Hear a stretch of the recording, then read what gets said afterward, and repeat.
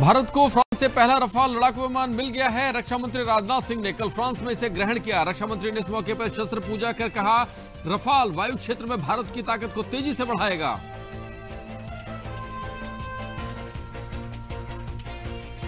प्रधानमंत्री नरेंद्र मोदी ने कल द्वारका में आयोजित दशहरा कार्यक्रम में शामिल होकर बुराई के प्रतीक रावण के पुतले का किया दहन। उन्होंने देशवासियों से अपील की कि अपने अंदर के रावण को खत्म करें, तभी उत्सव को सही मायने में मनाया जा सकता है।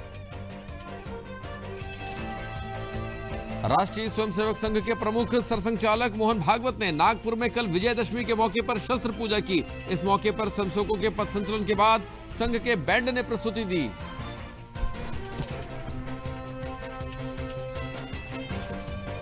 विजयदशमी पर्व पर गोरखपुर में रामलीला मैदान में मुख्यमंत्री और गोरक्षनाथ पीठाधीश्वर योगी आदित्यनाथ ने नाथ परंपरा के अनुसार राम, सीता, लक्ष्मण को तिलक लगाया और विधि विधान से पूजा कर आरती की।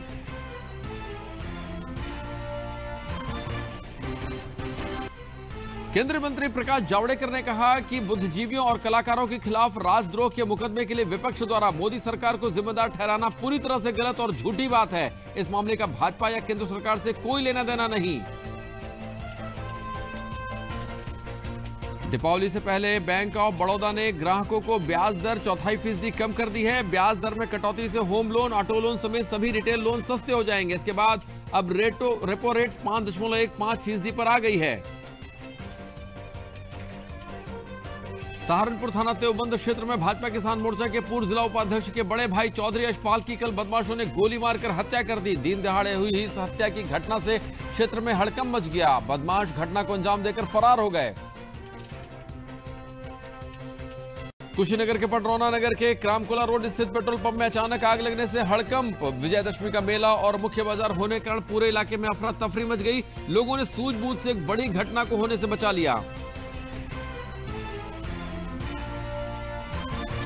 फतेहपुर ज़िले में बिंदकी कस्बे में दशहरा महोत्सव कार्यक्रम में केंद्रीय राज्य मंत्री साध्वी निरंजन ज्योति हुई सम्मिलित। दशहरा महोत्सव से पहले केंद्रीय राज्य मंत्री फतेहपुर के रानीपुर गाँव राघवेंद्र सिंह के परिजनों से मिलकर शोक संवेदना प्रकट की।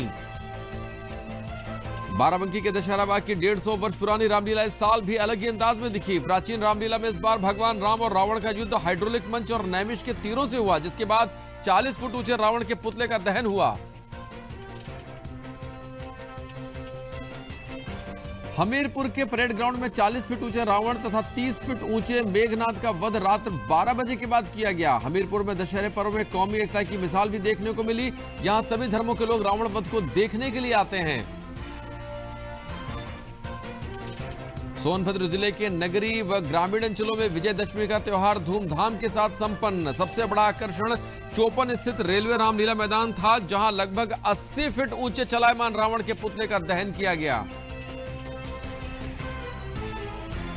अयोध्या की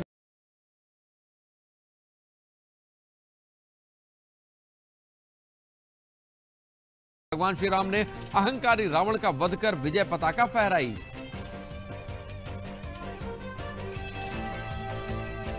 बुराई पर अच्छाई की जीत का पर्व दशहरे पर तीन तलाक, पीड़ित महिलाओं ने रावण दहन किया। महिलाओं ने रावण दहन के माध्यम से समाज में बहुविवाह, फतवा व घरेलू हिंसा जैसी बीमारियों को बुराइयों को समाप्त करने का संदेश दिया।